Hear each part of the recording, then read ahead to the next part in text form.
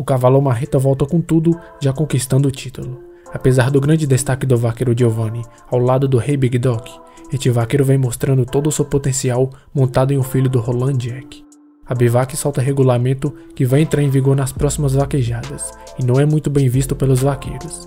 Quer ficar por dentro de todas essas notícias? Assistam até o final e não perca nenhum detalhe.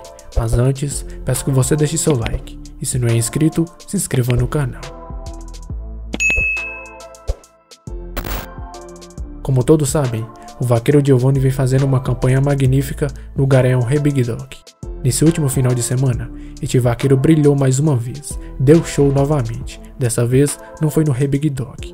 Montado no exclusivo Jack do ARJV de Altamira, no Pará, essa dupla conquistou o quarto lugar, primeira corrida do conjunto já com prêmio em mãos. Exclusivo Jack é um filho do garanhão Roland Jack.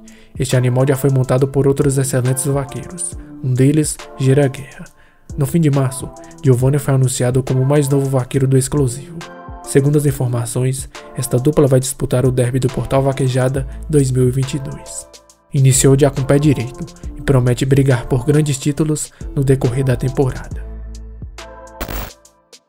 Nesse último final de semana, o cavalo Marreta foi outro que teve bons resultados.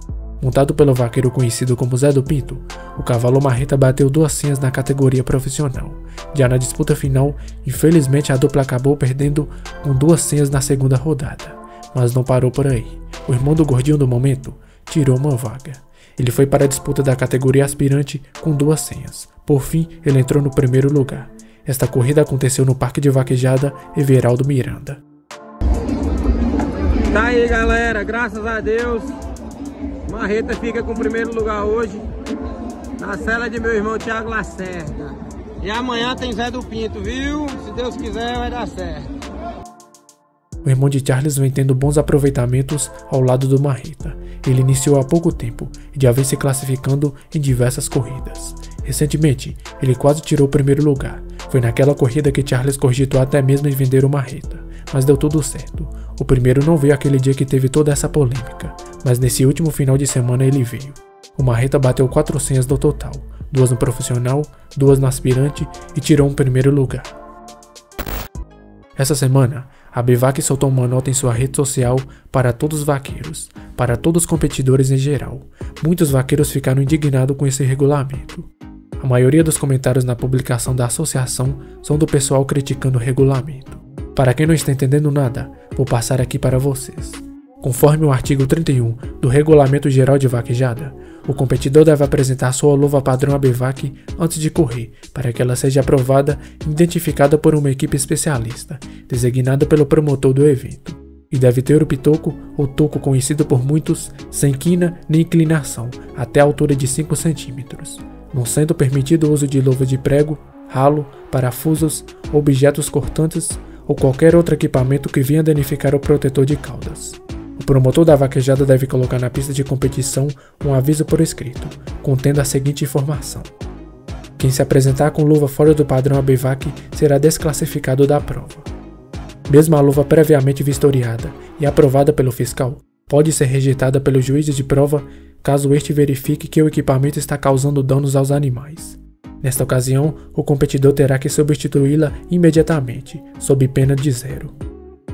Pelo que parece, já existe essa regra há um bom tempo, mas no decorrer das corridas foi afrouxando e já não estava mais exigindo.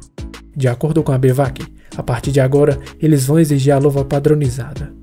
Diversos vaqueiros comentaram na postagem. Abre aspas. Estipula uma data para que todos se enquadrem. Não é do dia para a noite que vão surgir luvas adaptadas. Sou lojista, trabalho com isso todos os dias e sei da dificuldade de produção e da demanda que vai surgir agora.